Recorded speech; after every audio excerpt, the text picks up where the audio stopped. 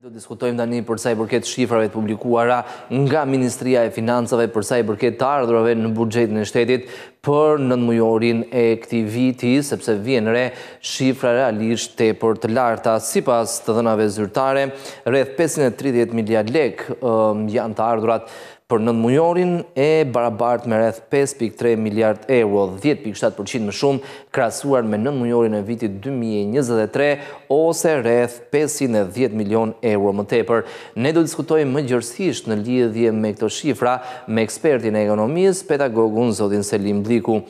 Zoti Bliku, përshëndetje, mirë se erdhët. Përshëndetje. Atëherë, pesëqind e dhjetë milionë euro më tepër krahasuar me nëntëmujorin e vitit dy mijë e njëzet e tre, që do të thotë më shumë të ardhura në buxhetin e shtetit, janë pak a shumë sa një eurobond që ne kemi emetuar në të kaluarën në tregje ndërkombëtare. Në këndvështrimin tuaj, sepse është e sigurt që buxheti do të rishikohet edhe një herë tjetër mbase në ditë, në javët apo muajt në vijim, ku duhet të shkojnë këto investime?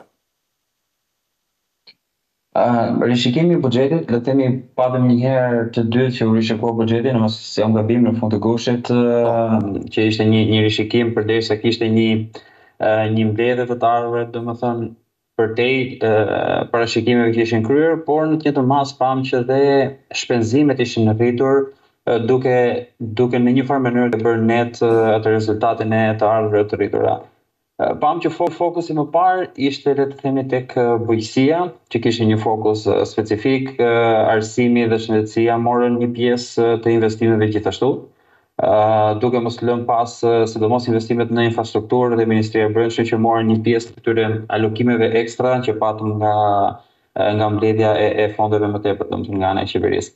Mendoj që prap fokusi ka për të qenë te këto sektorë pranë qeverisë dhe gjithmonë do të jetë ajo pikëpyetje që sa nga këto rritje vërtet do të shikohen në le të themi në në në të ardhura shtesë apo në përfitime shtesë për qytetarin drejtpërdrejt, normalisht Që këto efekte të ndihen kërkojnë kohën e tyre, as nuk diskutohet, por mendoj që fokusi prapë ka për të qenë te ato sektorë që duket që qeveria vërtet i ka dhënë një një fokus dhe një rëndësi të veçantë dhe po specifikoj në këtë rast që mendoj që do të jetë deri diku prapë arsimi, bujqësia që edhe pse thuhet që po mbështetet respektivisht domethënë dhe dhe goxha fort Në çdo rishikim buxheti prapë mbetet një një pikëpyetje se si po perceptohet apo si po si po përjetohet nga nga qytetarët e vendit dhe sidomos nga fermeri mesatar. Kështu që mendoj që këto do të jenë prapë si si fokus pavarësisht se le të themi si vend duam që ta çojmë rrjedhimin e forcës punëtore më shumë drejt produktivitetit dhe cilësore dhe turizmi apo dhe energjia si kjo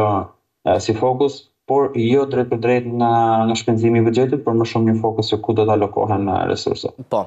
Ndërkohë, zoti Bliku, mendoni se më tepër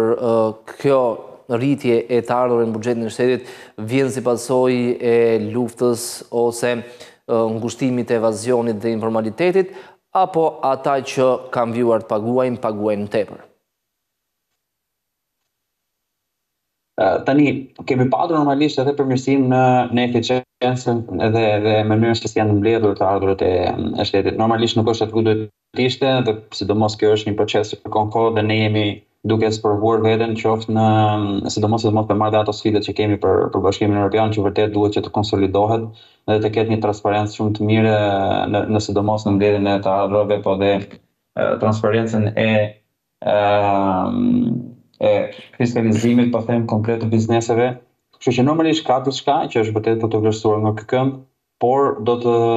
do të theksoj që prapë mbetet që pesha më e madhe janë po në ato biznese që gjithmonë në fokusin e tyre ka qenë një një organizim shumë i mirë i financave dhe një, një mund pagues të rregullt të detyrimeve financiare dhe dhe tatimore që ata kanë në vend.